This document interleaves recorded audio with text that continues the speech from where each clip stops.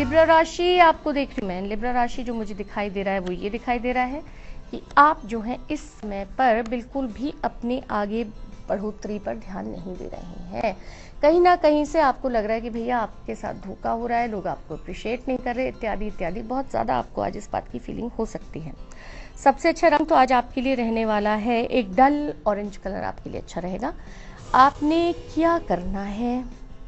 भाई आज के दिन आपने सबसे पहले तो ये मान कर चलना है कि आपके काम की अभी पूरी तरह से तारीफ़ नहीं होगी, क्योंकि आपका काम जो है दूसरों के दिमागों से कहीं ऊपर है। जब वो उस लेवल पे आएँगे, तब आपके काम की तारीफ़ कर पाएँगे। क्या चीज़ नहीं करनी आपने? आज किसी भी महिला से दूर दूर तक, चाहे आप स्वयं क्यों ना महिला हो, कहीं कोई कटु शब्द नहीं बोलने आपने।